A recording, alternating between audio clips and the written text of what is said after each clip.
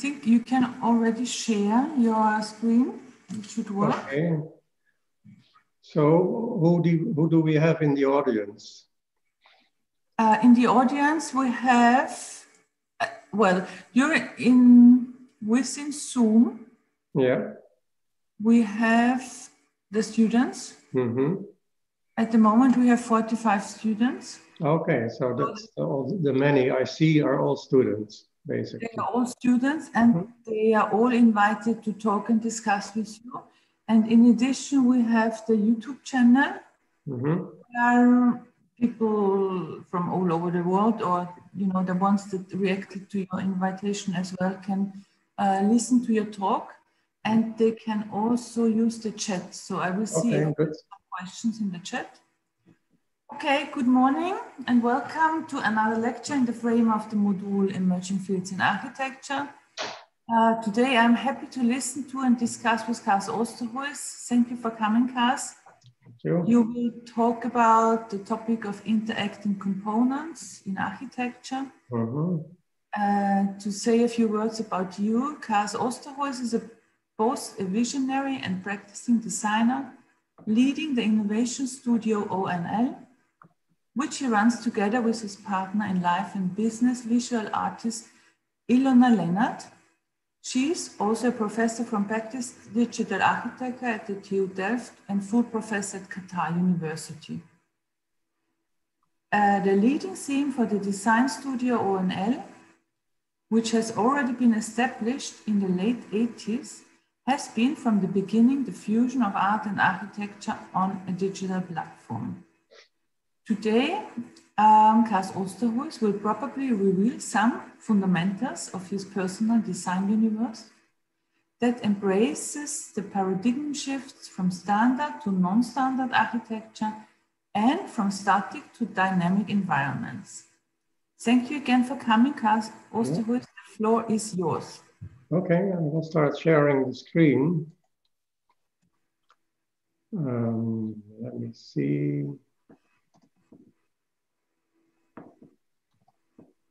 I must have my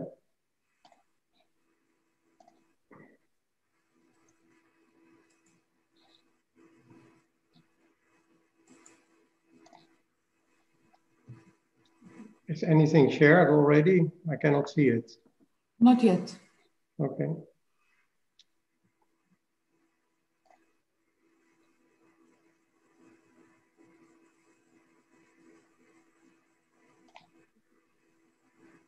Okay, it is starting. Yes, now it works. I can see it. Mm-hmm. But I want to have it full screen. Yeah, okay, here it is. Um, okay, so you said one hour lecture is sort of okay, is it?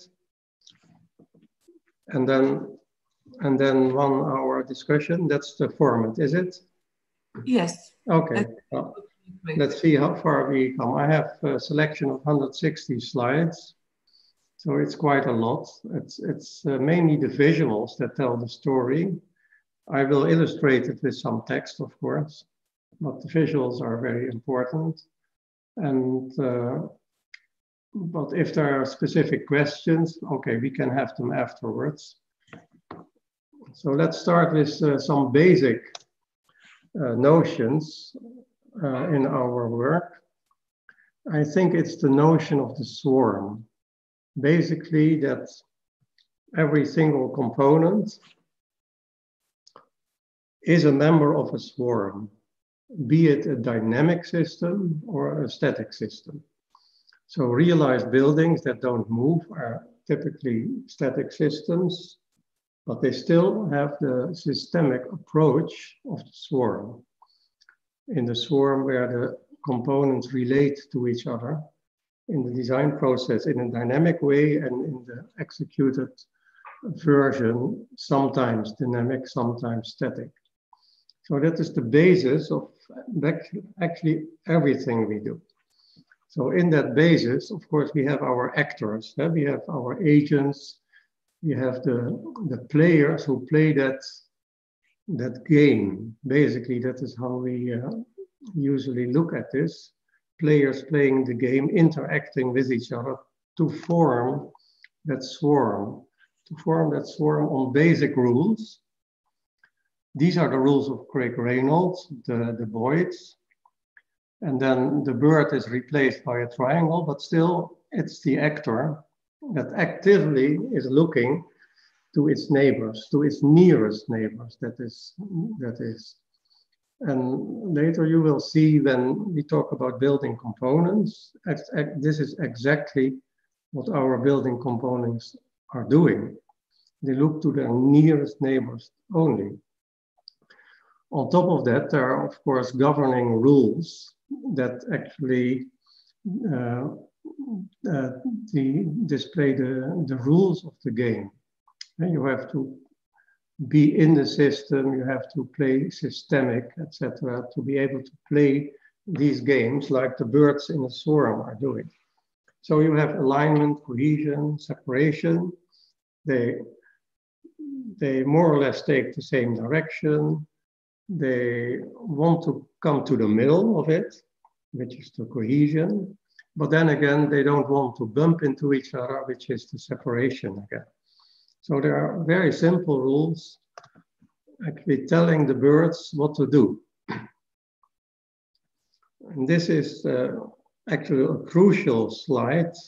I used it many times in lectures because this is still the swarm. It's still those birds looking at each other, not bumping into each other, aligning, but now based on external factors. And there's an external factor ruling the actual behavior of these actors. In this case, power lines. And actually, you, we use this idea of power lines in our architecture to organize the components. So let's have a look at components, the very basic notion of a component. I was always fascinated from the beginning by containers for many reasons, actually. Um, not so much for aesthetics, but for what they are and what they do. Because these are identities, they have a unique number. You can see that in the images.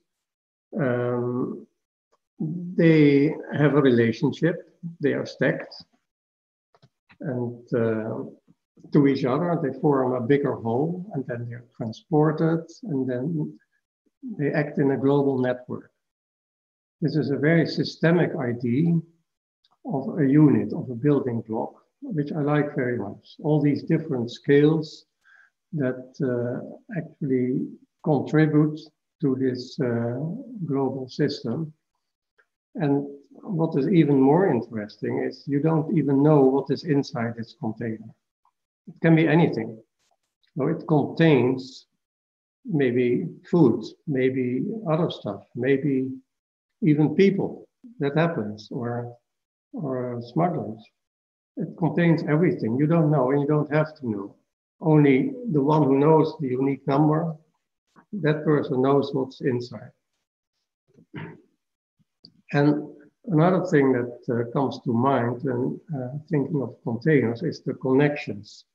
So it's not about a building block in itself, it's always about the connections. More important than anything else, I would say, is the connections between the components that counts. Because if you don't control the connections, then you will have things clashing into each other, which is typical for uh, deconstructivist architecture, for example, that's clashing things into each other without thinking about how these components relate to each other. So our architecture and art also is much more based on how do they work together to form that bigger whole, and how can we sort of simplify the systemic system that it becomes a tool for everyone and not, uh, not an expensive uh, thing for an elite. Um, well, this is the swarm again, well organized, transported in a global network. If I would look at birds and migration of birds, it would look almost similar to this. So we have these global networks that are based on different components. So it can be organic components, can be inorganic components. It can be also be virtual components, and then we are talking about languages. Languages are based on very basic components, also languages we don't speak. It's, uh, it, they follow the same system.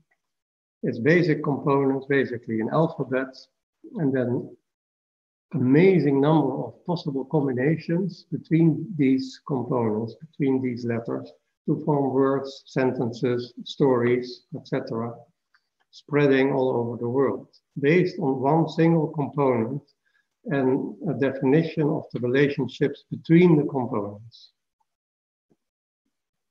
This, if someone uh, reads Arabic, it would read uh, Seven Daughters here, which is basically the, the name of a project we are working on in Qatar right now. I cannot show the project, but it's uh, fascinating enough to actually have a look at how Arabic uh, script is uh, written and how free they are to express it in different ways, in calligraphic ways. So these are words. Other languages that are more virtual, like computer languages, by the way, but I don't dive too much into that, is, is music. So these things come through our senses, eh? through our organs. We make interpretations of things outside ourselves. We name objects. Uh, we find uh, sounds for objects. We find sounds for or words for objects, and then we construct an, a complete universe out of that based on a single component or a set of single components. The same with music. It's just a number of notes, tones, with a certain hertz, and this uh, amazing number of possible combinations, how to use that and build your own universe in this. Um, so this is a part of, um, I always take things that have something to do with our private uh, enterprises. So this is part of Ligeti. And this uh, piece, it's from uh, Musica Ricercata. It's used in Eyes Wide Shut, the movie of uh, Stanley Kubrick. So someone who can read music already is hearing what it says. So this is the, the components that are actually used by instruments. So basically, this is also autobiographic. This is my baby grand piano. And it's used actually to, to actually perform these, uh, all these uh, possible combinations. And I think what we are doing in architecture, and we should be doing, is build instruments to use the digital in a, in a, in a very playful way and to build our own universe. Each one has its own personal universe, to build your own personal universe using these basic uh, components and, uh, and explore the possible relationships between them. So it's not a given. There's nothing, nothing is given, everything is open and free to start composing. So I'm much more interested in composers than in performers. Right? Um, networks. The other week, there was an exhibition of uh, Professor Barabási, who is the author of uh, some books on uh, networks and the interaction between components. Books like Linked, Bursts, and the latest one is The Formula. Uh, very interesting books to read. It's a bit, bit popular, popular science, but the images uh, that go with it in this exhibition in Budapest right now are quite strong. And it's, uh, it's clear they all look very similar in a way partly because everything is based on this idea of data points, data points and relation between data points. So we use that in our architecture. It's basically data points, coordinates, and the relations between one and the other. And then when talking about architecture, we form geometry. And that's what he was doing also in this exhibition. He interprets the data into geometry. And then you can visualize it in many different ways. You can 3D print it like this. I have to say, I think the position in the third dimension of these nodes are quite arbitrary, but I have to ask him, what is the idea? But when we talk about architecture, it's very clear that you talk about a construction in space. This is a, a brain, I think, and all the interactions in brains and how we position ourselves in front of that. So he talks about hidden patterns. But when you use it in, in architecture like we do, it's not so hidden actually it's fairly clear that we use the points, the point cloud as reference points to build our geometries and to build the interaction. And you should see, of course, uh, images like this not as something static, but as something dynamic. Um, because it's uh, always an instance from a dynamic universe. It's, uh, everything moves, everything changes for example, when you look at the molecule, which is the basis of everything we are built of, everything around us is built, built up from molecules, which is a, set of smaller components again, combined into something like a word, maybe, or uh, a tune. And then if you dive deeper into this, of course, this is very deceptive to have an illustration like this because everyone knows it doesn't look like this. There is nothing like an atom. There is nothing tangible. If you would visualize it, it would be much better to visualize something like this. It's force fields. It's something like vibrations in the quantum realm. And the quantum realm is something we cannot even touch because we are caged. Eh, we are actually imprisoned in our molecular life, in that and which I see as an as a very local and temporal crystallization of something that is immaterial.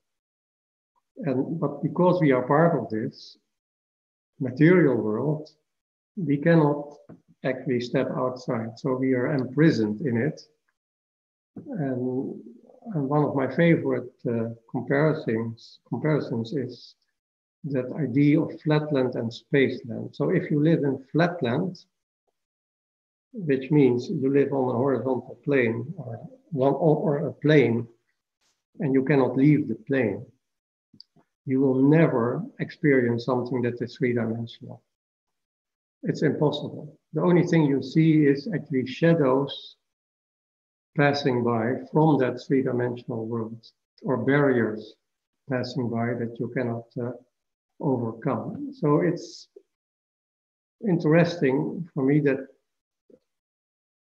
if we think of constructing a world and interactions in that world, we must uh, um, realize that we have these limitations.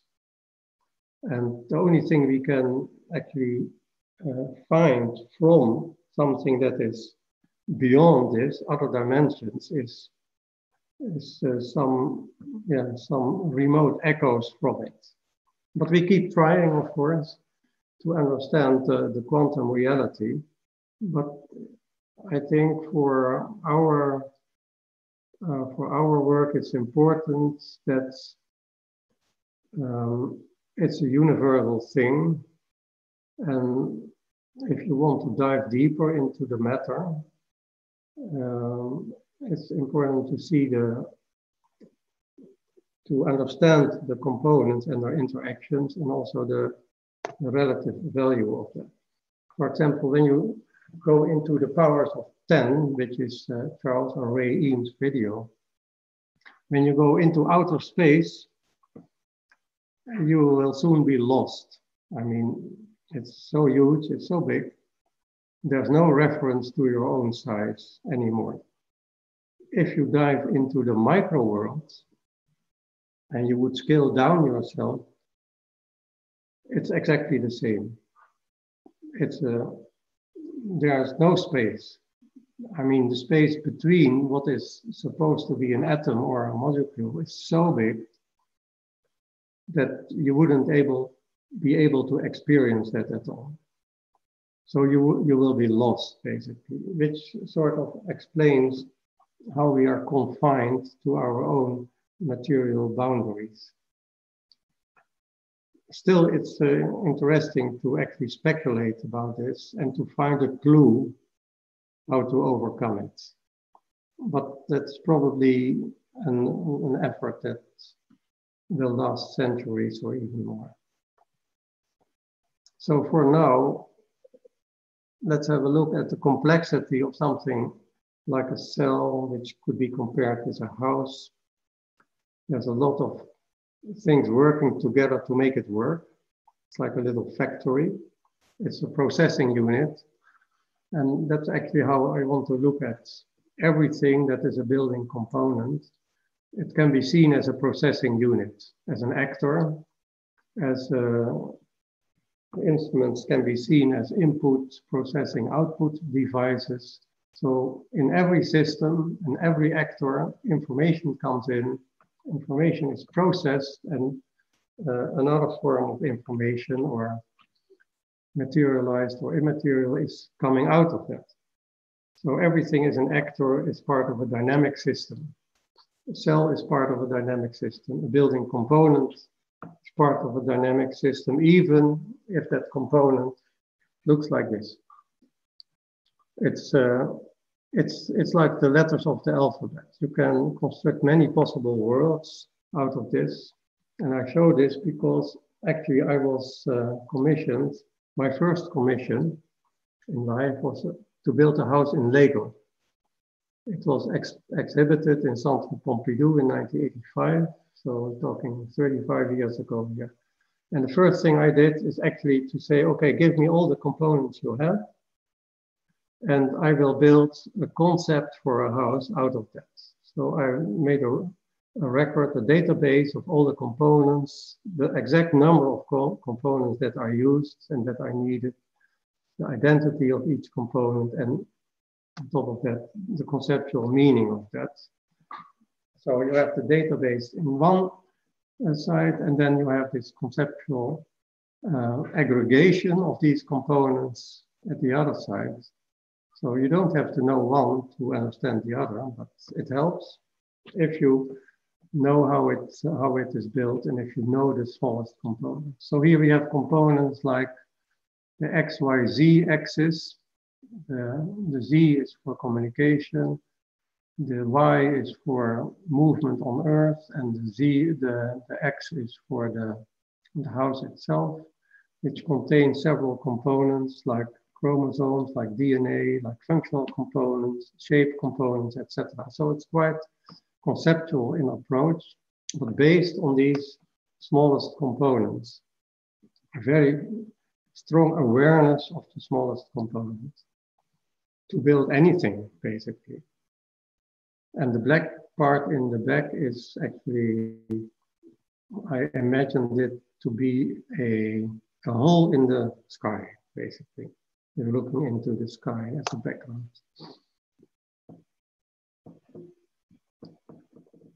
A bit later, when we were living in uh, the atelier of Theo van Doesburg in Paris, we lived there for one year. I was asked to do an exhibition on Theo van Doesburg. And one of the things we did, this is back in 1988, is to do an animation of the Maison Particulière.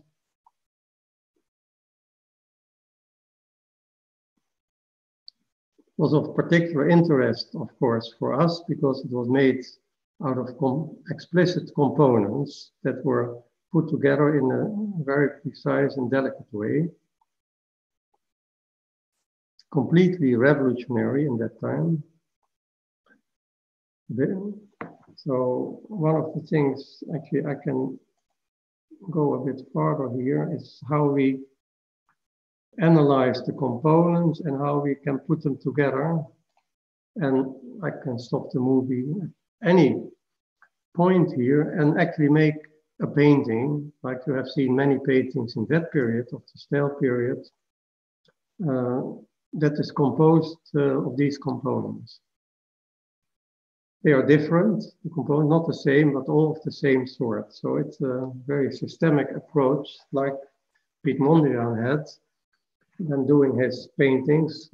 This is a later painting, but it's based on paintings he did in that same period, like uh, around the 20s.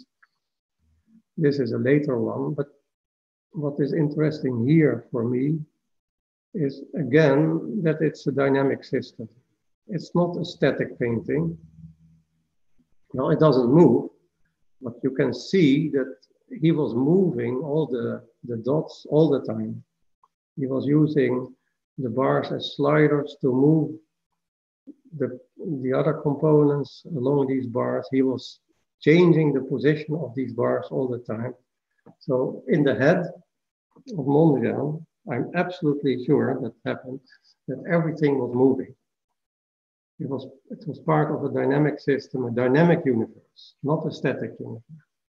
And then a painting is just an instance of that. The process is,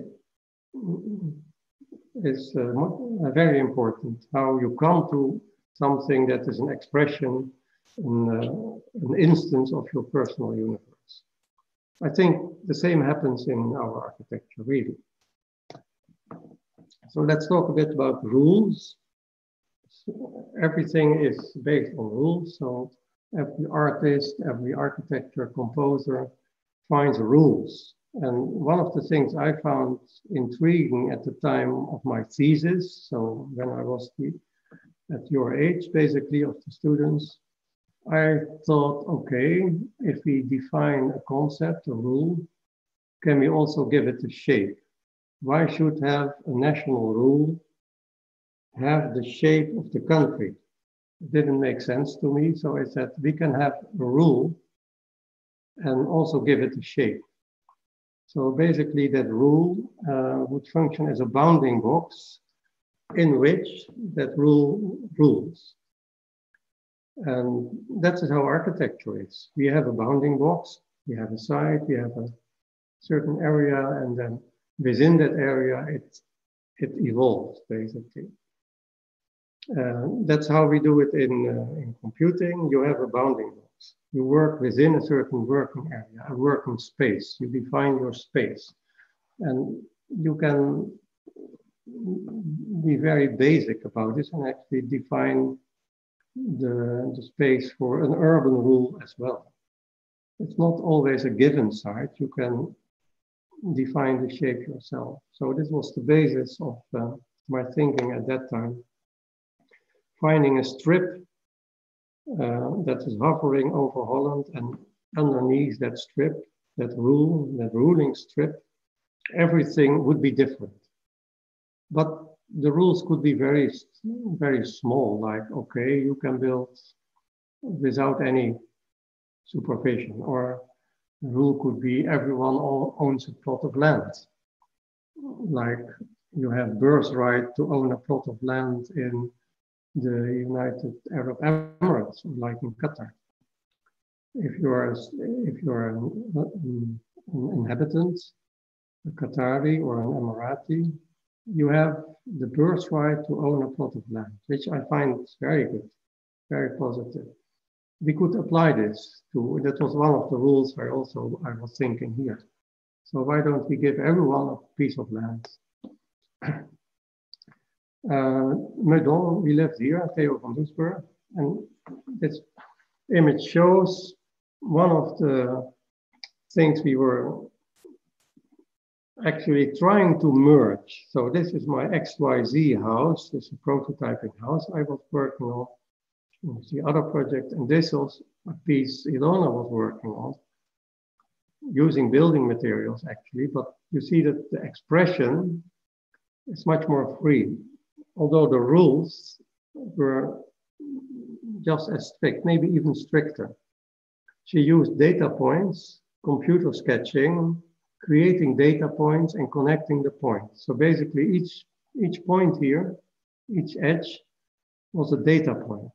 And these points were connected to form this structure. And then if you compare this with this, actually my performance was quite poor because I have only eight data points per spatial component here.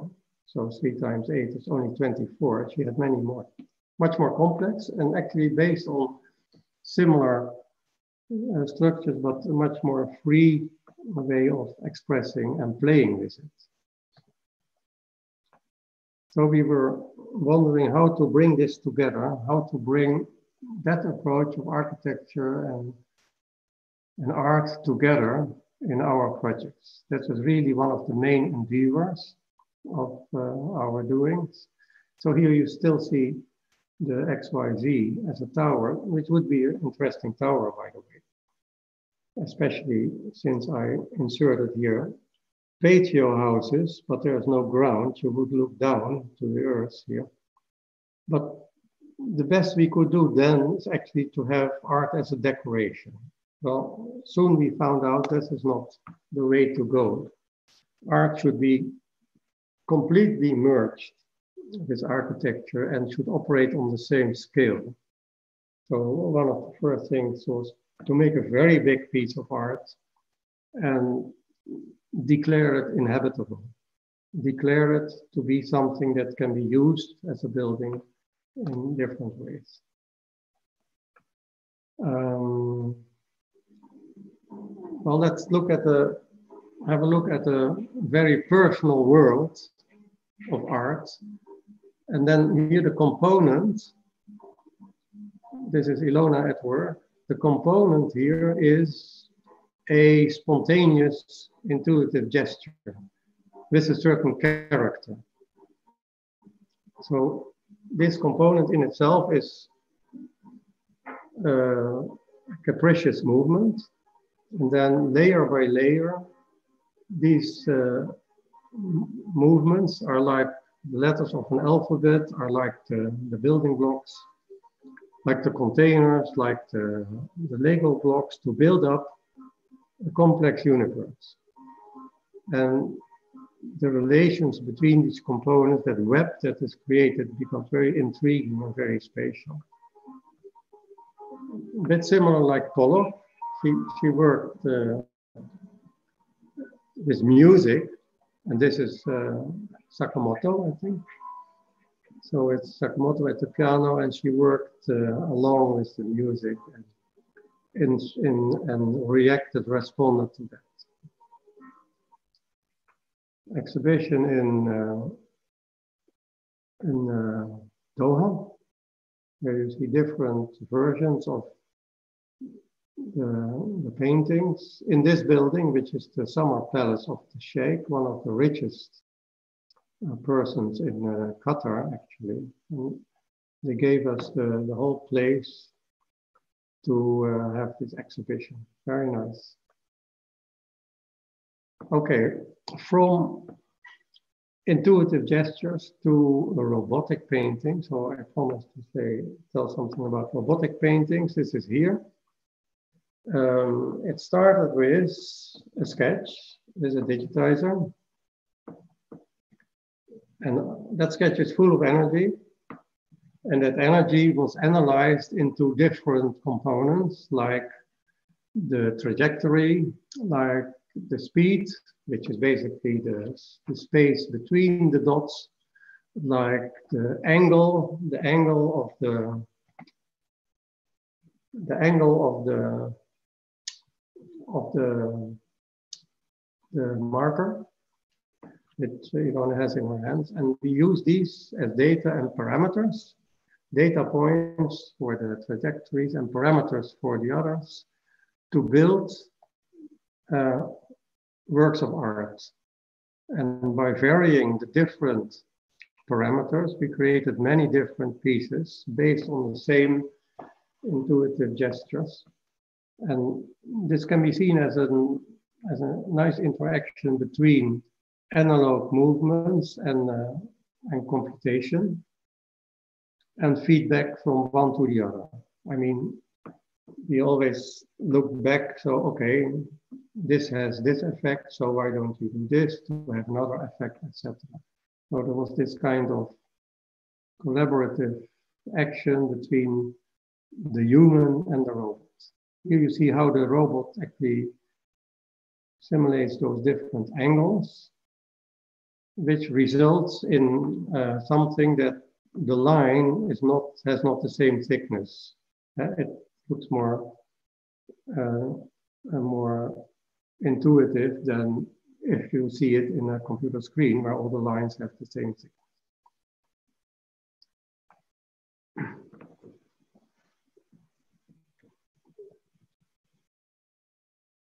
Uh, we did a robotic painting project in Dubai. The last one was in Rotterdam, so that was the pre-version. Then we did one in Dubai, where we actually brought a robot on site,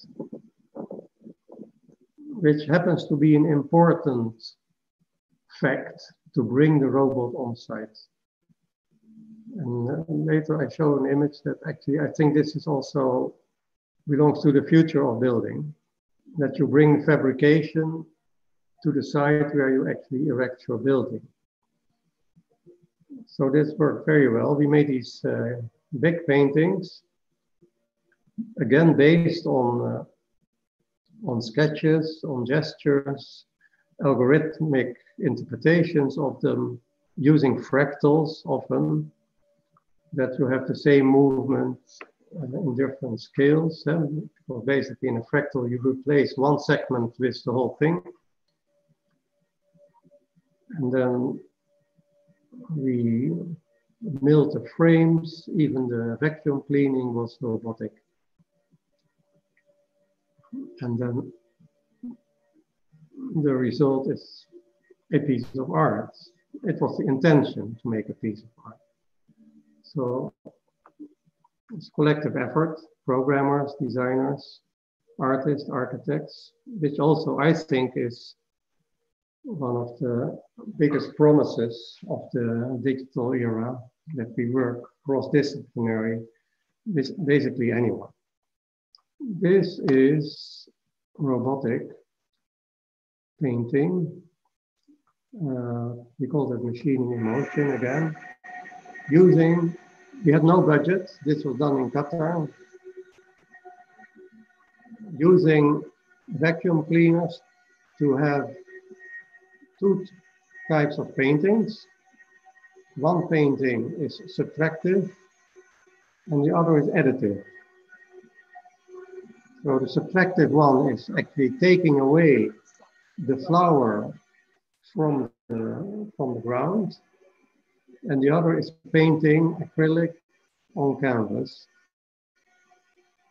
And we had them working simultaneously. This was really a great event at Doha Fire Station in uh, Qatar. And no budget, except for buying a vacuum cleaner, which can be programmed. So vacuum cleaners are programmable. Next building uh, project I want to show is an uh, art project called uh, Maidan. It exists of uh, 100 nodes for the 100 heavenly heroes. And here we come back to that idea of the bounding box because we use that flag as a bounding box to populate these 100 points into. And then we made the connections based on an algorithm that was shared uh, taken from the internet. Um, so in that sense, it's, it's, uh, it's a very network construction, both in the process and in the, the visual outcome of it. And in the nighttime, we would embed uh, thousands of LED lights actually to evoke uh, an image of that original revolution that took place in Kiev in the Maidan Revolution. So it's pro fully programmable as a piece of art, and especially at night, that works uh, very well. Okay, I think I'm quickly running out of time, so maybe I speed up a bit. I'm, uh, but I have to go through this quickly. Prefab, prefab in the 60s. I was working for this guy, and then we made together. We made buildings like these. It's extremely prefab. It's minimizing the number of details, which makes it affordable, which is one of the secrets of our work. Minimize the number of differences, but actually work in a very systemic way. So this was uh, in 1987 that I did this. And it's the absolute minimum you can do in architecture, basically. And as you have seen, we were at the same time, we were looking at how can we bring art and architecture together, actually to not limit ourselves to the extreme, but actually use the building blocks. These are also the minimum building blocks, but to use that idea of the building blocks to create a maximum of diversity. And that started in our saltwater pavilion project. We had the curves, the, the gestures. We connected the curves with ruled surfaces and found ways to manufacture it. This is where we started to think of part-to-factory. actually scripting the structure and connect to the machines, which is another form of connection that is important to have one system that connects to the other system. It's machine to machine communication.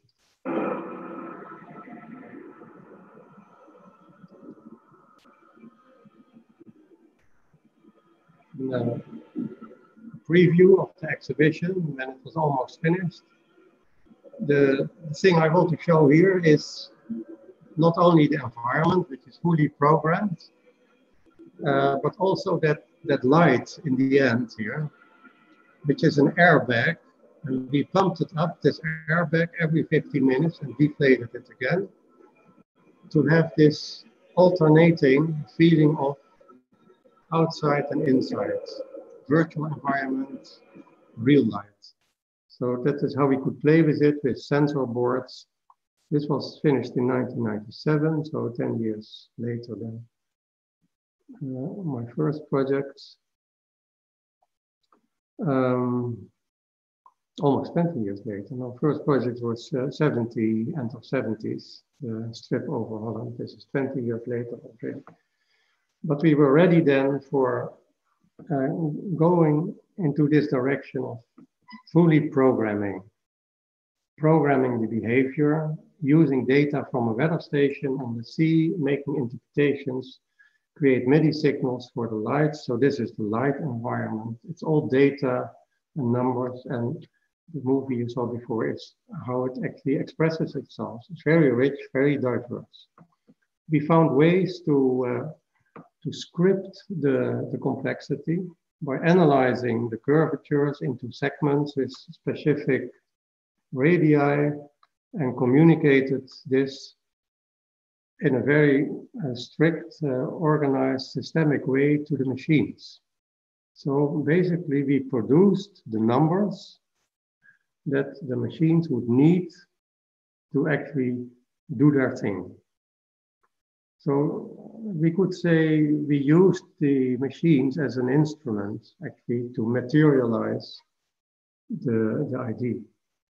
So the sketch you see here is very similar to such an intuitive gesture that I showed before. Is actually the direct translation of a three-dimensional sketch into reality. Okay, uh, inside this bounding box, which is the shape of the water pavilion. It's a sculpture building, a building like a sculpture. There's nothing that reminds you of a real building. Doors like this are cut out of the skin this is how the skin rests on the rocks. There's no, no such thing as traditional foundations. It's completely different approach to architecture as a piece of sculpture.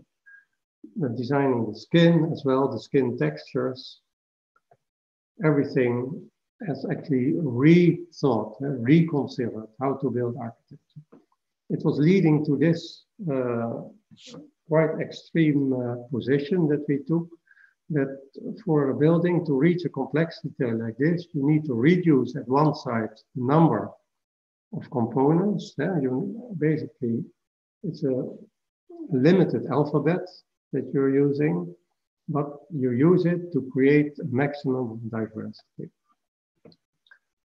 A constructive structural system was uh, mapped onto that surface and then analyzed. So now it's the, the total of the building that was basically one detail. One building, one detail.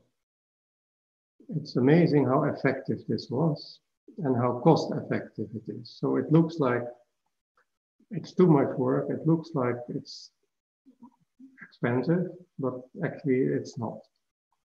Because you limit the number of details and you and the detail includes all the materials eh, and the connections between the components. The architectural idea was to have a sort of hard crust around something that was glowing from the inside. So apart from all these technical issues, there is, of course, the conceptual idea. And what do you want at all? What will you what do you want to do with your instrument? So you can rethink from scratch using build your own library of components and uh, develop the connections and then create your personal universe your own diversity which can be completely different from anyone else but still based on the same principles i think that's how nature works by the way. Um, the doors are again cut out of the skin. So it's not something that comes from another system and that is then implemented in your building like all traditionals do. They all take things from a standard catalog and then they put it together somehow. That's not what we do. We actually build our own catalog and work from there. So it's obviously a piece of architecture because you can enter. Now it's not so obvious when it's closed. You don't see the entrance. And that's another idea we have, and that will come back in some movies I show a bit later. There is only a door when you need a door. I mean, that's the idea. Why should you see a door or have a door at all if no one enters there? So this door is only there and it forms a canopy. So I can extend this idea to there's only a canopy if people need that protection. So why do we have these fixed canopies in front of buildings when there's no one to, to shelter underneath it? This is a basic idea why dynamic architecture and interactive architecture is reasonable. It makes sense because there's no reason why you should have an empty office building if there's no one working inside, and like we have in these corona times. Uh, in front of the faculty, building components, this is the, the lab, inside, but unfortunately the, the whole project was uh, torn down because of the faculty burned down. You probably know that. So we had to start again, think of a new uh, lab, lab, and then this is uh, my originating sketch. I asked the students to work with it, playing different roles, playing the role of a structural designer, a climate designer, interaction designer, a shape designer, etc., material designer, playing different roles to come to a, a new systemic approach for uh, a, diverse, uh, complex uh, structure based on very simple rules and components. So we 3D milled the components, robotically milled. This was done 10 years ago. And we designed the, the connections such that it would always fit and it would uh, be strong to be a floor, a wall, ceiling, everything in one. It uh, brings me to uh, a movie that we made recently to show what we think is the future. You bring robots on site, you print your components, they're all different. You lift them up and bring them into the location. Everything is, of course, based on data points. And each component has a reference point and has the, the reference to their nearest neighbors. And you can build basically anything based on that technology, based on that systemic approach. And you can build parts of that dynamically. You can, and that's, I ask students again to do this. Take one of these components and make it interactive and make it such that it forms the lecture stand when someone lectures in the GSM conference that we have. So here we see the components uh, assembled together and in the front we added this one component that becomes the lecture stand when someone lectures. And after the lecture was gone, it would actually uh, come back to its original position. So this was the idea of, okay, there's only a lecture stand if you need one, which uh, we elaborated further in uh, more radical ideas that also furniture and other parts of the house only need to be there when you need it. About programmability, this is a project we did in Qatar as well. Um, it's uh, a number of components, but now inflated components. And the components in the middle part can inflate and deflate, which makes the whole thing go up and down. It can dance so to say, and reacts to also stimuli from outside, just to show, because it was a beautiful project. So it leads to scripting all over, scripting complete buildings like this cockpit building uh, along the A2 highway in Holland near Utrecht. It's that part what you see is fully scripted. The acoustic barrier is fully scripted no 3D drawings were made, basically. Things were modeled, but only in this in this way. Were modeled like, okay, these are the components and these are the relationships between the components, and then this as a system was mapped on the population of points, data points of that structure. We did this for the acoustic barrier and the cockpit as well. Results in a showroom that has the price of a normal box, actually, but is seen as a very special terminal for expensive cars. We applied the same for the Bálna Budapest. It's the interior. And then to go even more into basics, this is the component of a climbing wall system we developed where the skin and the structure work together in one component. So it's even fabricated as one component and then assembled together to form the whole. It all follows the same logic. It's uh, open for manipulation from outside, from curvature, so we could map the curves, curvatures onto the system. And then the system would actually see how how it is, well, what are different angles between the components are, if it's acceptable or not. So we could play with that with different parameters, assemble it, building it together to form a very complex climbing wall. Whereas the holes that you see up there, the, the openings, it looks uh, complex, but it's not. It would be exactly the same complexity as if that wall was completely straight, which you see more to the left. It's exactly the same system.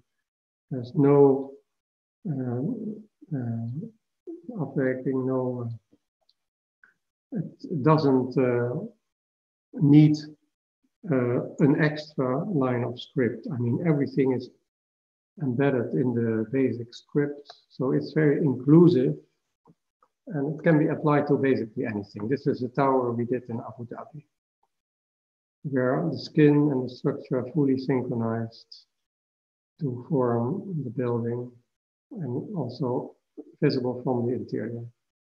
Apply to a chair, a body chair, a basic component, uh, laser cut, or water jet cut in other occasions, folded and assembled together. There's different variations for the cushions and for the patterns, all parametric. So from this one system, you could uh, design many different chairs based on this application where you could uh, actually decide what is your, or, or you would uh, put, uh, give the numbers of your own body. That's why it's called body chair. So what is the length of your leg, your torso, etc. So it becomes your chair and you can also decide on the inclinations. It's, it's more active chair or more passive, all from this one volume that can be tweaked by playing with the sliders. This, I think, is a, is a very good approach for any future architectural project. That you design the system, you design the instruments, and then you let others play with it. So you let others play with the, the parameters and let others decide what is the final shape for it.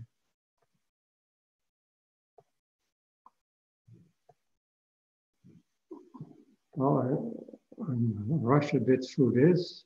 Uh, Mondrian interpreted as uh, a city uh, the Boogie Woogie, the, and he lived in New York, so it makes quite a sense. It was unfinished, so we thought, okay, we can work with that.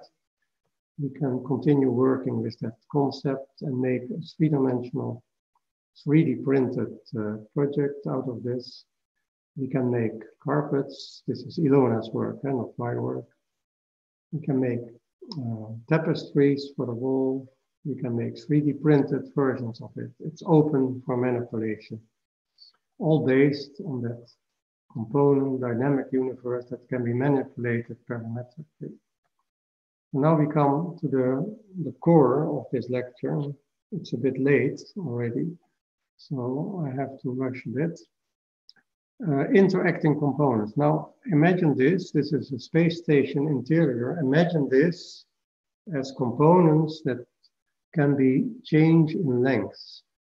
So each of those edges that you see between the data points are components that are basically cylinders, that are basically um, uh, components that can uh, vary in length. They have a stroke, like maximum 1.4, and by using that stroke, you can create different environments, completely different environments, by just programming the individual lengths of each of those components.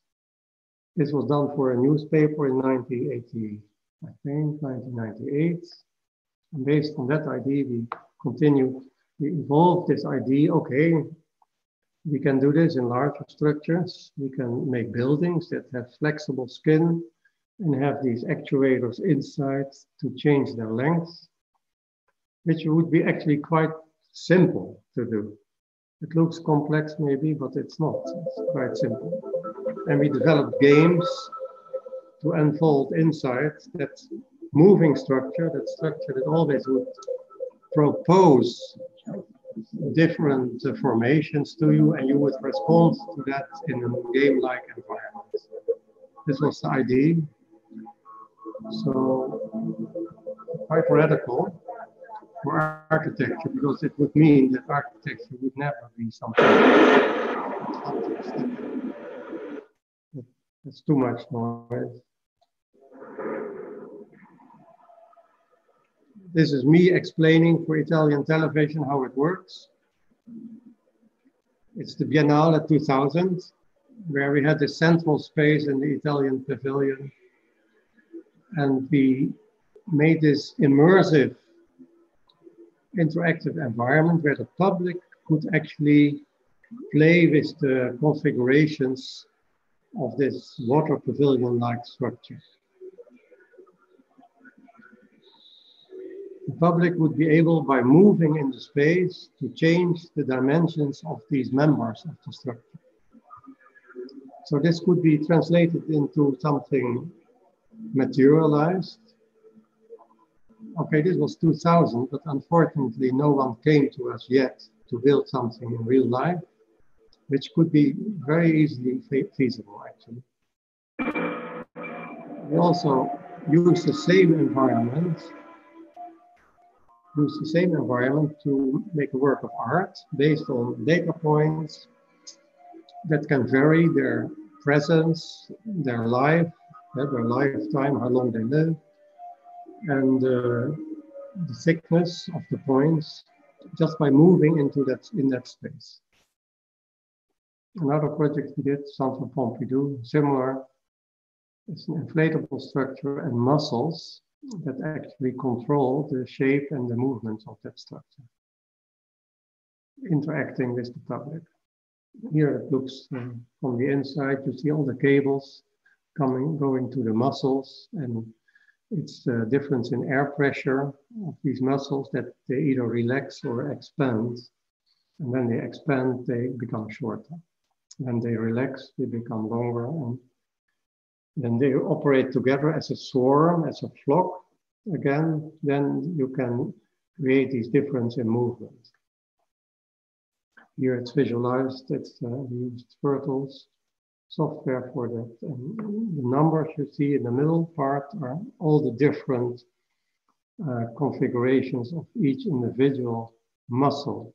So three is relaxed, one is contracted, etc., and two is in between. One of our PhD students did this for me to show actually that tweaking data points in real time is could be very useful as a design tool to design your thing. It's uh, more dynamic than any existing software. And also it was to show that you can organize your points in such a way that it's either completely regular,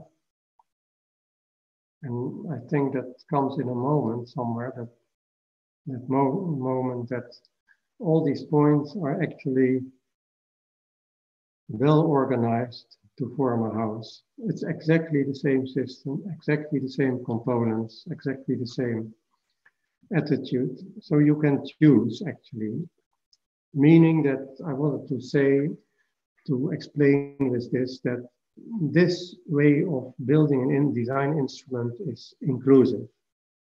It includes every possible configuration, including rectangular structures, if you like that. The other way around, it's impossible. If you start with uh, platonic volumes, you will never end up with complexity, and you will never end up with something that could be interactive. Like this, this should be a movie, yes, it's a movie. Like this interactive wall structure we did for Festo, this is in their headquarters in Stuttgart. And we actually used our technology, our brains connected to their wings, that's their technology. And we made a move using muscles. There were sensors in the base, then walking along this structure, you would actually trigger the structure to move and to, uh, to manipulate by moving along manipulate different uh, configurations. Of course, it's a matter of programming what these sensors do. Nothing is done by itself, so it's a matter of being a composer, uh, building an instrument, and then making a composition with those uh, basic components and have them interact applied on a larger scale, we could think of something like this, like, okay, there's a train that makes noise, and only when the train is there, we need to block the noise. So it's the same motto as I said before, there's only a barrier when you need one. If there's no noise, why would you have a barrier? Why would you have these ugly, ugly sound screens, sound barriers in the urban landscape if there's no noise? So if you have a dynamic system, you can respond to external st stimuli and respond to it in such a way that society becomes much more open and it's only there when it's needed and as needed. here the components are similar, they are repetitive, but not necessarily. You can also have any any kind of configurations. Well, since it's for students, uh, this is a student work. This can be easily done by students.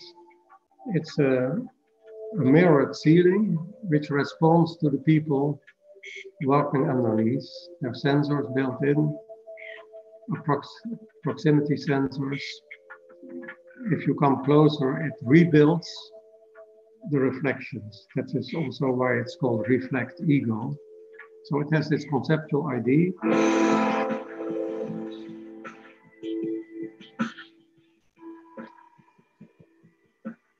It has the components and it has the, the programming in real and the operation in real time. So it's, it processes information basically everything, every member of the flock, every member of the swarm processes information, whether in a static form or in a dynamic system like this.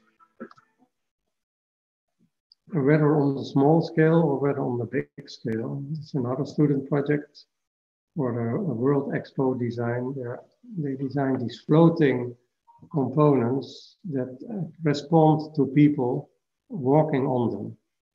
And they're also self-assembling, so they could uh, have small motors in each component that they can rearrange themselves in different configurations and go to different places. So you see that it has a huge potential for spatial excitement for spatial urban configurations, and you could apply it to complete buildings eventually. But as we live in society where building is very traditional, it takes time before we reach a level like this. But it's again, it's very simple. All these uh, things you see on the on the lower side of the components are inflatables. So if you change the inflation, you change the configuration of the whole triangular component. Another student project.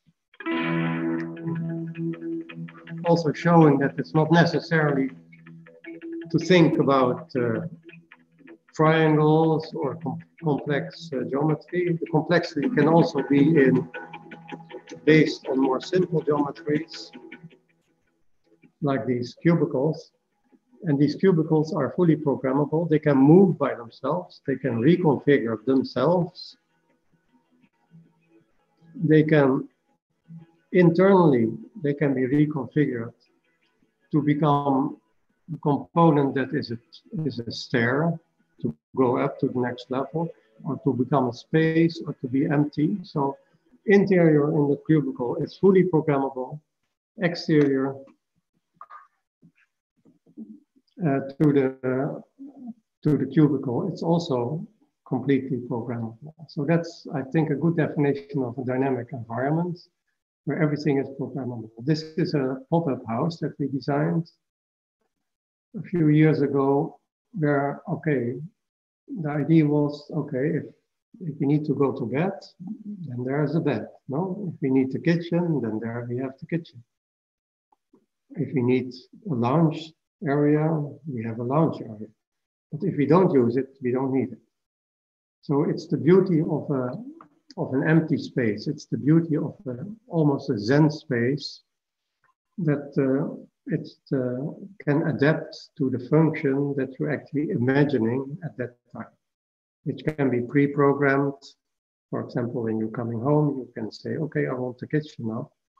You just use your application and you said, you just click the, the choice kitchen and it will do that. So all these uh, components are in themselves built out, built of other components and they actually relate to their neighboring components. They relate in a network to people playing the whole system as an instrument. So this is actually a good definition of uh, our attitude. Whether it's art or whether it's uh, architecture, uh, whether it's small scale, whether it's the larger scale. I think it works in this way. It works in nature like this way. And it works in new nature, which is the extension of, of organic nature, our new nature where we are the main players. So basically, I see everything. I think we could well end with this uh, video and keep it moving, where I consider everything that we built as a sort of exo exo-human, exo-body uh, materialization. So a, a, grand piano is ex, as an exo vehicle to express ourselves through sounds. Like uh, a house is an is an exoskeleton basically, where we hide every now and then, where we go into, where we go out of, uh, and we actually only we serve as the as the actors and as the as the information at the same time. Because by entering a house by or by programming a house you, sort of provide information to that house and that house processes that information. It processes your movements and it has a result an output which is again related to other houses in a complex network called cities, called uh, countries, and nation, and uh, in the end uh, into a global structure. So basically, it's the awareness that every component is part of a global network, like our brains are part of a global network. I mean, our brains could not function without having a relation with others. Same is for any other component. A single component doesn't exist. It only exists in relation to other components. And as we talk architecture, it only exists, we can, then we can have a good definition, a good clear definition of the component, a good clear definition of the rules governing it, the programming of it, and we can have a clear, clear definition of how they connect through information or through physical connections. Okay, I think I'll leave it here. I'll leave it open for questions. I hope you're not exhausted by this and are still with us. So Sandra, I give the floor to you to, to have the students uh, participating. Thank you very much, Kas. Um, yeah, thank you for your lecture. As expected, it was a, a, really great and inspirational lecture. Thank you also for showing the, the old projects from yourself and showing the red line of your ideas behind it. I, mm -hmm. um, I like what you said uh, complex but not complicated. Can yes, I start with exactly. one? Can I start with the first question? I because when you talked uh, about this climbing wall, it looked like like many other uh, projects that you have very different components, but probably mm -hmm. you mm-hmm. have only a few components. And what I wanted to know is how do you deal with the connections? Is the angle the angle design some kind of a rule, for example? So different uh, uh, parts fit together? Uh, well, okay, the, it's one component, but each component is different. Huh? You have to realize how that works in parametric design. They all follow the same rules. So every component is different. Every piece of wood is different. So every skin piece is different, every structure piece is different, every angle is different between the components because they adjust parametrically to the position they have in, in the arrangement, in the configuration. So if the configuration uh, is straight, well, of course, then they're all equal. But they still would have their own identity because being equal doesn't say anything in such a system. Actually, if you would uh, arrange the components in such a way that some components are equal and some are not, it's more complicated than if you don't do that. So if you have the same rule, but only change the angles, so from 90 degrees or 180 degrees to another angle, it's still the same system, it's still the same rule. And the machine making it, which is the CNC router, which the five axis uh, had, that CNC routing machine knows these angles. So you communicate the angle straight away from the model to the machine. That's how, that's how the whole process is automated. So it's completely different than any other climbing wall you have seen, although it might look similar because it's, and it's much cheaper, by the way. Thank you. Are there any questions from the students? Mm, I have one. Um, thank you for so much food of um, thought. I thought um, the lecture was very interesting.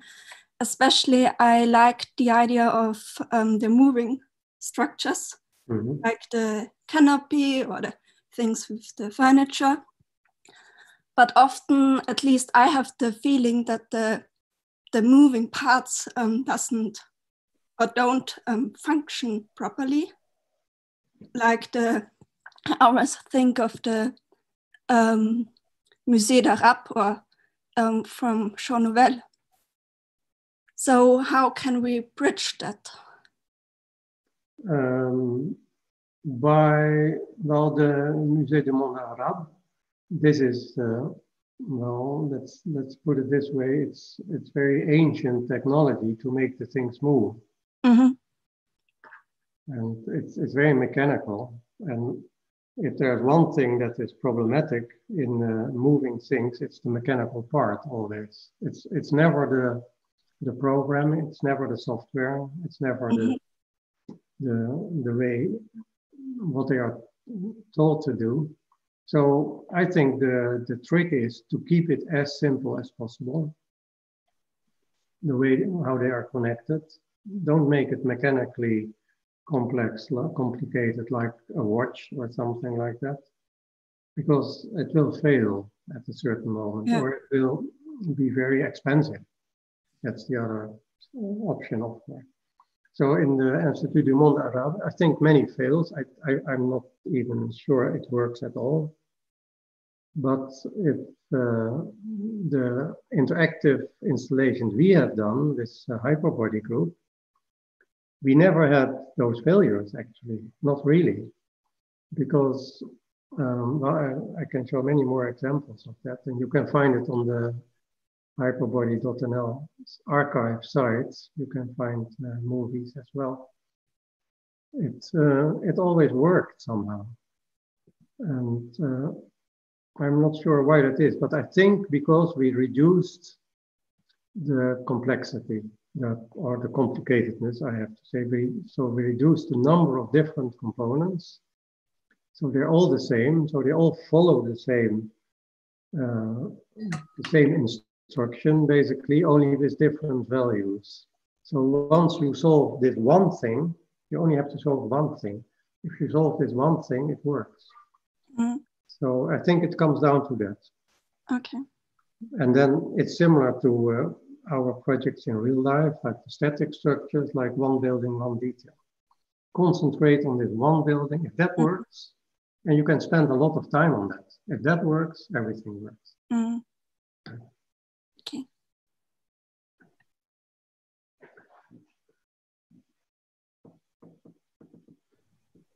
Uh, I have a question as well.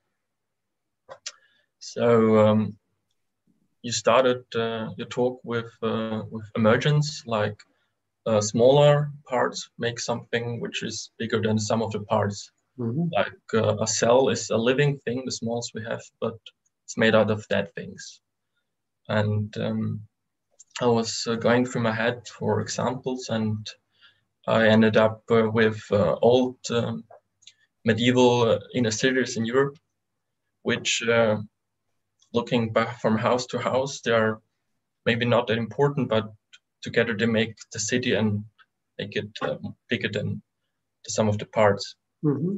But uh, also staying with this example, it's getting more complicated since the house itself is also is a unit, but also holds units, and you know it gets complicated very fast. Mm-hmm. So um, I was looking uh, uh, to it more like a tool, like uh, you want to you have your parameters and you want to make it a unit which is small enough to to to be as efficient as possible and to do the task at hand as efficient as possible yeah. But um, but you also are limiting yourself since um, the more parameters the more you uh, the more problems you have um, the smaller the part has to become to be as flexible as possible so i'm wondering uh, how do you cope with um, with uh, finding like the sweet spot, uh, not too complicated uh, a task to, to to to be handled by one single unit or the units together. Um, so yeah, is it is it um, a tool which can on, only be used in certain areas where the parameters aren't um, that um, um, that uh, convoluted to say? So yeah. Yeah, well, how should I put this? Um, I think you have to uh, you have to allow yourself to rethink what is a house. So if you, for example, want to post parameterize or everything that's uh, that you see around you, and you see everything, no, like tables, uh, book, bookshelves, paintings, doors, lamps, everything, computers. I mean, it's so diverse. It's a, it's an ecology of things. Um, if you see the, the, the, house is also part of an ecology of things in a smaller scale, interior and exterior. I think if you want to copy what you see around you and post parameterize it, you will fail enormously because then you're you're uh, you're caught in that idea of complicated. It becomes very complicated because it's based on different ideas. It didn't originate in this in that way, like that the house is one systemic system that uh, that functions in all aspects properly. That actually doesn't use energy. That uh, that uh, doesn't create waste. That is uh, is recyclable, that is uh, circular. All these components you can easily uh, project on that single component and start completely from scratch, redefine everything, and then it will be quite effortlessly you could do it. For example, in the, the GameSet Match 3 conference stand, uh, that uh, those units that we made for the Protospace lab, each of those components can have a different function. One component can be a climate function.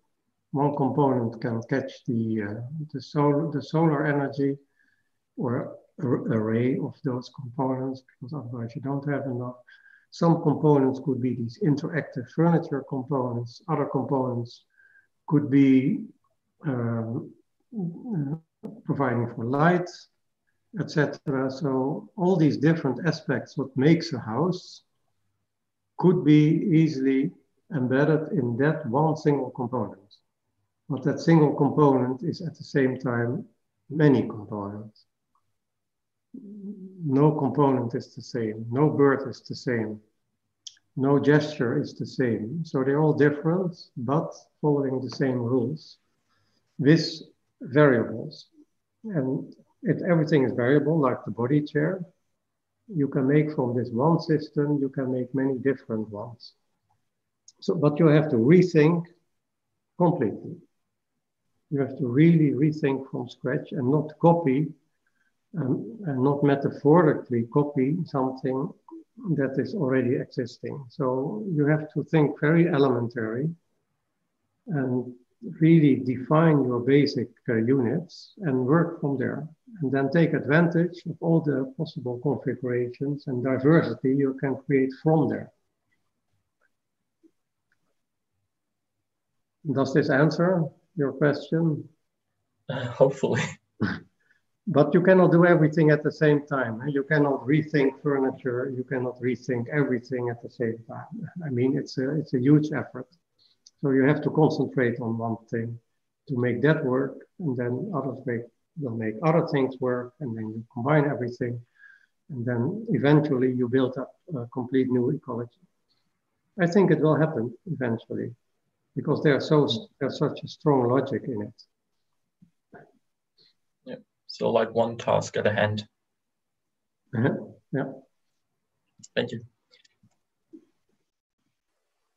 I, I do have a question which maybe connects somehow to this. So you said architecture is nowadays more traditional and it takes some time to, to get to these modern aspects of, uh, yeah, of architecture in general. And I'm wondering if you think this is especially related to residential housing, if there is some evolution embedded in this architecture or do you think it is just ignorance not uh, not taking these technologies right now? Um, well, it's not ignorance. It's uh, it's uh, real.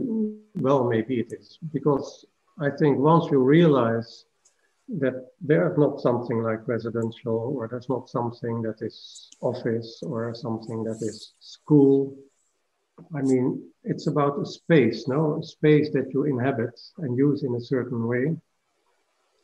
Um, it's, it's not very related to each other. So the basic idea is, okay, why can't we make a more generic space that can be adjusted to different kinds of use? Make that space gen uh, generous, yeah? not too small. Just for, uh, as a private, uh, private note, we always lived in school buildings because we like the classroom as a space. We don't, we never lived in a residential actually, because that is predefined how to use it. If you, if you use a classroom, you can define it for yourself. So that would be a first step in to actually do away with housing as such, but build spaces instead that can be used for any purpose. I think for a city like Vienna, it would be ideal. Just stop building housing, stop building offices, build spaces, and make them multifunctional and, and allow them to be used in many different ways. So one, one, one thing I noticed when I came to Budapest for the first time is that the whole interior city, and it's with most old cities is the same. You have these residential complexes, but half of it is used by, by lawyers, by officers, by small enterprises, and they mix effortlessly, effortlessly with people that are housed and that are that call it their home. So one door can be an office, next door can be a home, but they all use the same structure which makes up a very lively city because every something happens all the time in such a building. It's a 24-hour concept. So I'm very much in favor of that. Just building spaces and uh, forget about uh, these predefined functional uh, way of uh, approaching it and limiting that and fixing that in, in, in rules that are not essential. So we should go back to much more essential rules, I think. And I think it's not, not difficult to do, actually. You can do it right away, but it needs a different mindset. And it needs probably a political position as well. Because how do you divide the spaces? Eh? Because uh, that's uh, who has the right to use a space. That's another question. But also that can be subject to similar strategies, like I mentioned uh, in, uh, in the Middle East, where you have birthrights to a plot of land. So if you have birthright to a plot of land, there wouldn't be this extreme difference between uh, poor and rich because everyone would be able to afford it in basic.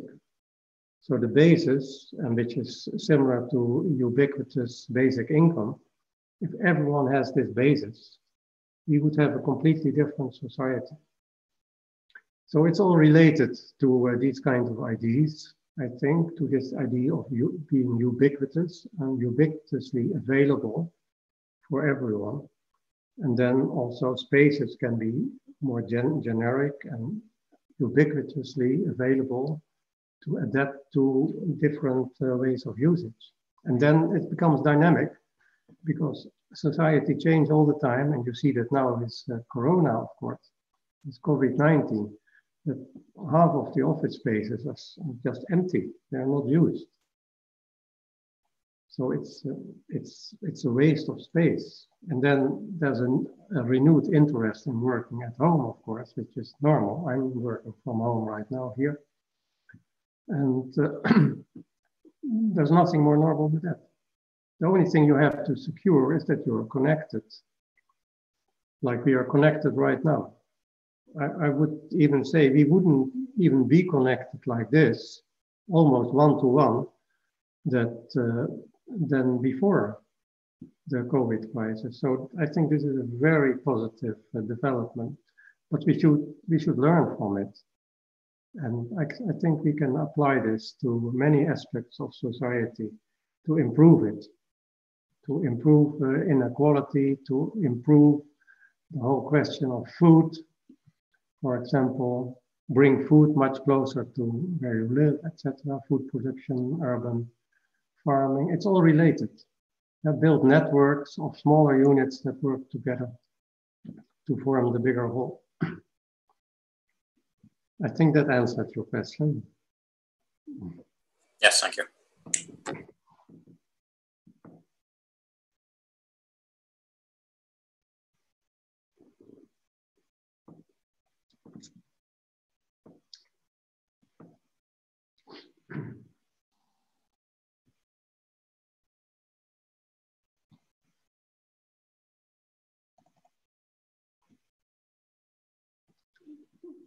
Well, Sandra is waiting for her students.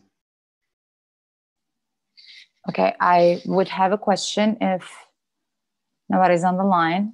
Mm-hmm. Hello, Mr. Oosterhuis.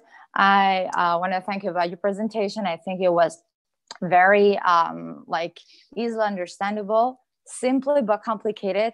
One thing that, or most of your points that caught my attention was um, the idea of you um, of your concept architecture concept on including the users into your projects as we saw in the um, application house uh, example or at the chair example or mm-hmm. at the movement sculptural um, uh, building that you had with the uh, like uh, with based on the movement um, changement of heights in the building. I wanted to ask why is it that important or so important for you to include the users into your projects? I mean, like as humans, we are prone to um, be provided with solutions, and in this time and your concept, we are kind of uh, invited to be part of the solution. Mm-hmm. So, um, yeah. why is that so important? yeah, well, I think it's a natural development to go in that direction because I think what we are doing, and I could have shown different projects that we actually, how we include the other people in the design process in a participatory design platform. I'm working on several projects right now to actually to promote this and to build the, the instruments for this.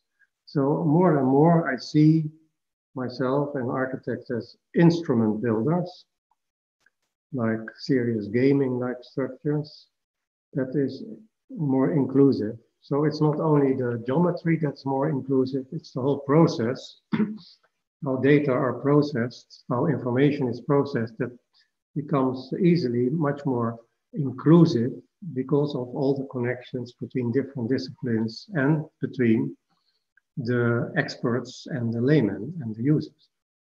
So we can all play the same game, or we can all play the same instruments, so to say, which and I think is fascinating, and I think it's a natural development of the digital, of the digital technology.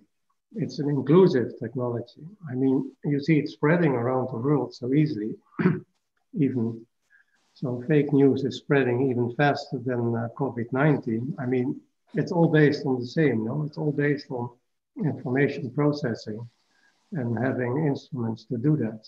So it's such a natural development. So I cannot, I cannot say it, it will go into another direction because no one actually wants to be excluded in the end. You want to be part of something. So if, you, if it's a house, why wouldn't you be part of that? Right. Um, um, but of course, if architects keep doing the same they always did, like being the, the authority that tells the users this is good for you, then nothing happens. I mean, then there will be no, no real participation. So the, the next step I am proposing here is to build instruments to include the users actually only to tweak the parameters and not the rules. So still the design of the rules of the game is architect's job. But to play with the parameters is like playing a game. It's like playing a tennis game. No, you have the rules, you just obey the rules. That's okay. I respect the rules, but I play my game. I can be uh, a serve and volley. I can be very aggressive. I can be a baseliner. I can be anything. But I play my game based on these rules. So I see something similar happening in architecture that we design these kind of rules, set of rules, which I call then an instrument, and that the users are free and actually invited to play with it and to build their environment. But their environment again is temporal and local, and it's not a generic solution for everyone. And uh, based on your experience, um, how is their uh, approach to this to this uh, possibility given to them? Because no. usually the users, it, I mean, like they are given possibility to be uh, a part of the project or the, or the whole process, as you suggested, but uh, not in this scale because I think this is very innovative, mm-hmm. very new. It's going to be oh. part of our near near future, I guess. yeah, well, we have developed a, a, serious game called Participator, and we worked with project developers on this. And I have to say they were very enthusiastic because they they suddenly felt that okay, it's not we are not the victim of what an architect proposes, but actually we can actually discuss, we can talk yeah, on the same level. We are in the same level playing field. Mm-hmm. They appreciated that very much. So that's for the, the higher level of uh, developers. And but similar, the same is with users because everything they do, and in the participator instrument, actually, you can trace uh, lines, you can trace trajectories, which then act as attractors to attract these basic units I was talking about. Everyone can do this. It's not the architect that traces and then it's being appreciated or not appreciated by the others. No, everyone can do the same. So everyone becomes a creator in that uh, setting which is very much appreciated, I have to yeah. say. And it, it can really happen, and I think it happens often actually, that it's not in the end not the architect that is participating in the game, but someone else who has the best idea. Thank you. Thank you. Thank you so much for your answer. So um, I have a question because you're talking now about this um, the users like they are a component. And how do you make it sustainable if the components like the users are changing all the time? Um, and if the compo uh, the users are in this process, then you're making a system or a building just according to their, I don't know, their feelings. Mm -hmm. And so how it is, how is it um, for everyone and for a longer period of time? Um, how can it work? Well, there's a, I think there's an, an, interplay between the generic and the specific. So you're talking about a user, it's very specific, probably wants to build a very specific environment for her or himself. Uh, but if the rules they are playing with are generic, the outcome of the game the design game would be specific arrangement of generic components. I mean, it would still maintain that uh, that uh, polarity of at one side it's very generic and usable for everything or adaptive to everything, and the other side it can be locally and temporarily being adapted for a specific person. So I don't see a conflict there really, but it needs a good definition of what actually the rules of the game are actually dictating. If they dictate every specific detail, so there's no more room to move, but only to move in that direction of that specific person, then I don't think the rules were were not set properly, then the rules are too specific. I think the rules must be very generic, that it creates an open structure for everyone to become specific within those rules. And being adaptive is only one aspect of it. Huh? That this applies both to static environments and, uh, and dynamic environments. Okay, thank you. Um, so I wonder if when you have these dynamic buildings that you showed many pictures um, to us, how do you place that in the city? So do you probably have um, examples or have you worked with urban development? How to put these dynamic buildings in a rule for the city? Like how can they be dynamic in the whole urban development. Are you thinking of larger buildings or? Um, I'm thinking of um, the connection between different buildings in the city. Ah, okay, okay. For example, if uh, this building would be adjacent to a static building? Yeah, for example, if you have um, existing buildings and you have, or uh, you want to find a rule how to um, place these new dynamic buildings next to mm it? Like how well, do they adapt to this uh, existing structure? Well, well, maybe they don't, or maybe they adapt later. But basically, like I said, you have a working space. So the dynamic of that specific building would actually unfold within the, this bounding box. And if you have static neighbors, then that's where the bounding box ends. Okay. And if the neighbor wants to respond to it, well, that's their decision. It's not something I can have influence.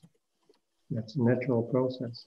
But that takes, in a city, that will take a long time. Okay. Be before one building has an influence on another building, you can talk, uh, you yes. can talk ages. It can be 10 years, 50 years, 100 years. Yeah. So you have to think this in a very long-term planning schedule. Yes, so when I think about, like, for example, building a complete new city, you have these bounding boxes wherein the dynamic buildings can't expand. Mm-hmm. But um, would there be, for example, a system that includes the whole city if I create a new city? Oh, yeah. Can I have rules within rules? Yeah, Do you know what sure, I mean? Can. Yeah, yeah, would be an interesting project. Basically, it would be an ex expansion of that idea of one of those student projects where these uh, uh, basic spaces uh, rearrange themselves uh, both internally and externally in relation to others, you could see a city as a dynamic system that rearranges itself all the time. Something comes to mind here to me that there's actually a, a project of Superstudio.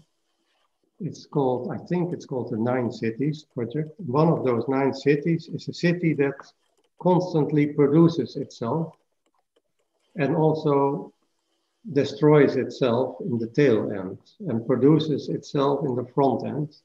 So it grows, it moves. It's not a static uh, system, it moves in the country. And in the tail end, it uh, sort of destroys itself and disappears, which is, of course, in there, idea, it's a bit critical, I think, also a metaphor for, uh, for that uh, cities change, well, the cities do change all the time. So it also happens without moving, of course, it happens on the same spot, but it takes time. It's a longer time frame we're talking about. But new cities or existing cities, I don't see a real difference really. I'd rather work in existing cities because it's more, more interesting, more diversity. And uh, but I don't see a real difference. It works from inside out and from outside in at the same time, I think. So the dynamic system would respond to external stimuli and also it would work from, from the inside within its own bounding box, having influence on their uh, nearest neighbors. Yes, I, it's, I think it's like that. It looks like a very natural process you are actually uh, potentially thinking of. Yeah. And uh, parts of that can be dynamic. And dynamic means doesn't mean it has to move very fast, huh, by the way. Dynamic changes can be very slow as well. And one of the interesting things of programming a movement is that I can program it to move even less than static buildings, which is uh, actually a good thing to think about. For example, there's one ex good example here. That's a big tower is being made in uh, Saudi Arabia. It's uh, one mile high, high almost, I think, but they stopped building it. But okay, part of the, the part of the structure was actually to embed actuators in that building. And when you have strong winds at the top, the, the whole building would actually swing back and forth several meters, which would cause nausea. You would not feel that. So what they have, they have actuators in the building to resist. Like you stand up for yourself. You do the same yourself when you stand. It's a, it's a system of not falling, as you know. Standing is basically a dynamic version of providing the, of not falling. So you resist all the time to leaning too much forward, and you go a little bit backward, or if there's a strong wind, you lean towards the wind, etc. So you position yourself in a very dynamic way in your environment. The future of large buildings exactly the same. They position themselves like that. They respond to different weather conditions, and especially in this case to different uh, wind forces. So yes, it already it already is embedded in buildings, but you can imagine, and that's one of the things I coined in around 2000, you can also have environments that are proactive, that not respond to changing environments, but actually propose changing environments, to actually propose a stimulus for the movements inside that building to guide the people in a certain direction. It's, uh, it could be even applied to crowd control in a way, that you can have different configurations of your interior of the building if it's too populated at a certain area. You just change the configuration. You respond to what is happening. And you can also predict this and become this and be proactive in proposing different configurations. So yeah, there's a lot of, of logical ways of uh, working with this. And again, I think there's no, no escape from thinking in dynamic systems instead of static systems. it has so much to offer. Thank you for that answer. Mm -hmm.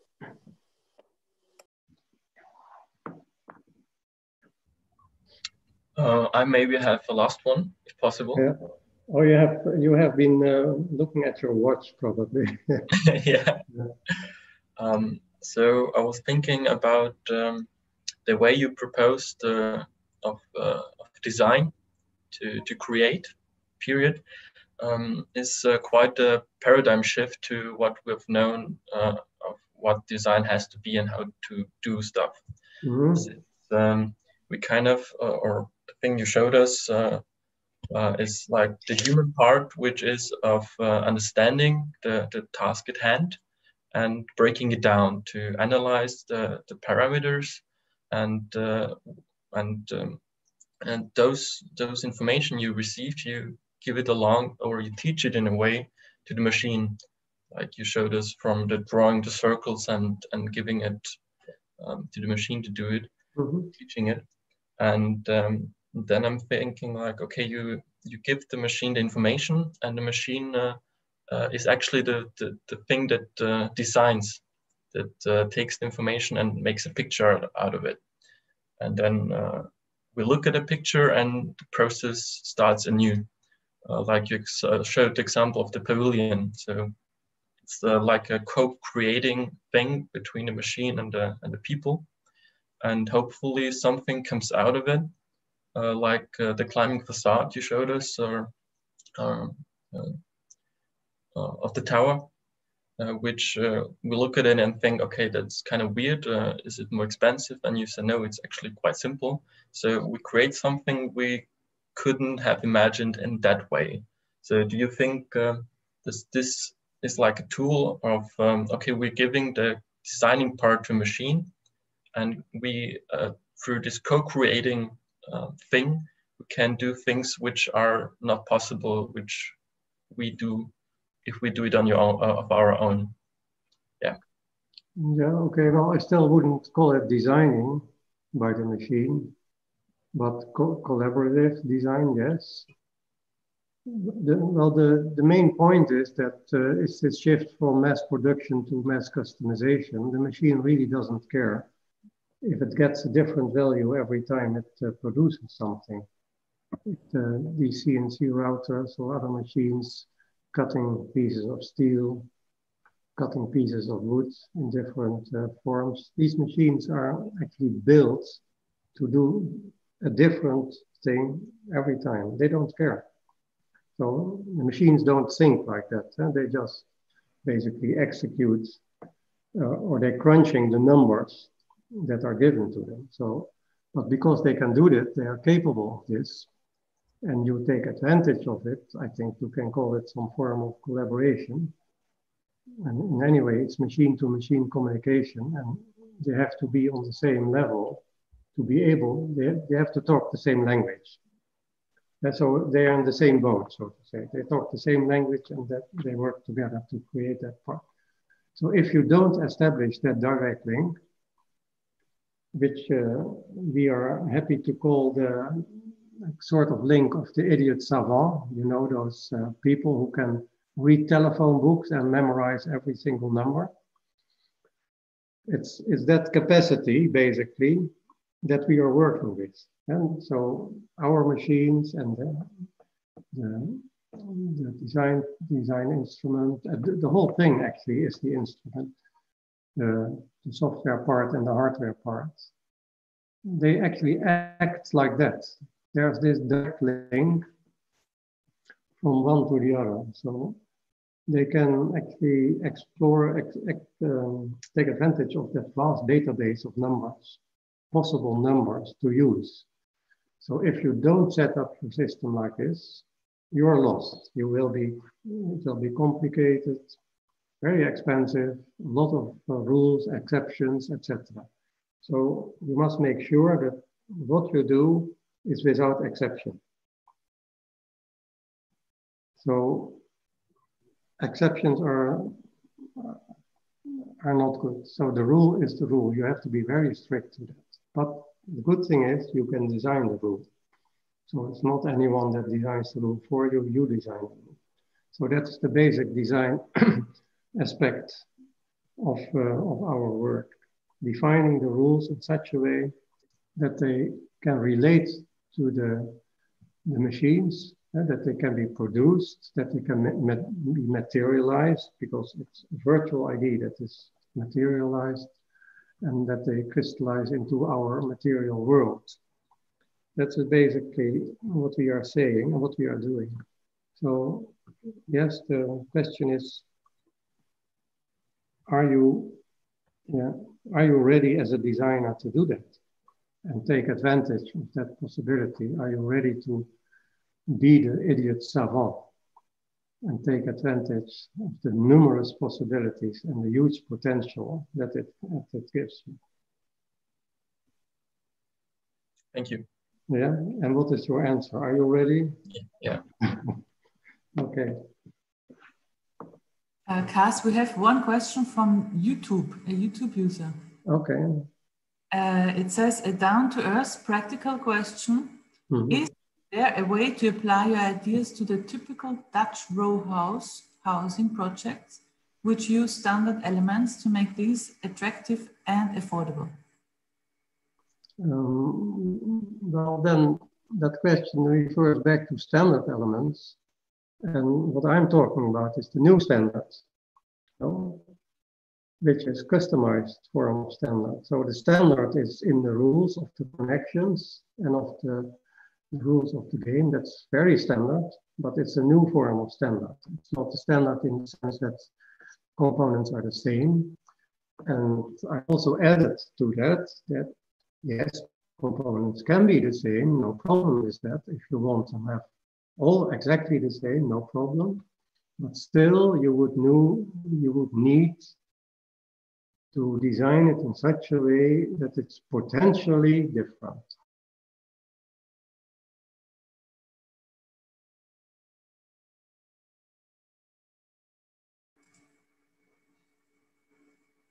Okay. Wait.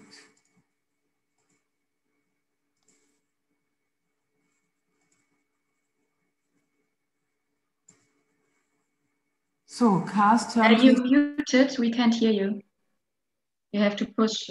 Unmute again. I was, for some reason, the connection was uh, distorted. Um, yes, so uh, it comes down to that new standard that is inclusive. And the new standard is inclusive of the old standard, so it builds a new level on top of that. It doesn't replace it in that sense, it doesn't compete with it, but it's actually a new attitude that includes it. Uh, thank you, Kas. I think we have, we don't have time, but we would allow one more question. Okay, And- no problem. Anybody one last question? The last chance to talk with Kas from living room to living room. Hmm. Well, it's, uh, it's not my living room. Um, I, I adapted uh, the room to a working space. yeah, what is living, what is working? Yeah. I would like to I would like to ask a question. Um, the last project you show you showed us the manic uh, this apartment that changes uh, the furnitures. Mhm. Um, well, in in this um, project, you you use a, a old system that we have already, the, the bed and Mhm. Yeah. the furniture, the classical ones. Yeah. Um, no, um, why don't you? Well, I, I don't want to um, tell you how you have to design, but um, you have already um, a system that you're using, and then here you are trying to adapt uh, the old system with with the new technology. Why is there is there a next step that Yeah. or Yeah, you're completely right. That's the next step. I mean, as I said, you, you probably don't do everything at, at the same time. It really goes step by step. And the main thing is basically to evolve it further, you need clients. You simply need someone who says, I want that. I want, and then, when we start doing this. We will innovate the very components where it's actually that are programmed, like the kitchen, the bed, etc. Naturally, we will look have a look into that. Yes, sure. This was only to to evoke that idea of uh, programmability and the beauty of an empty space when it's not used. Okay. I think uh, I think many people would share that idea that empty spaces are beautiful somehow.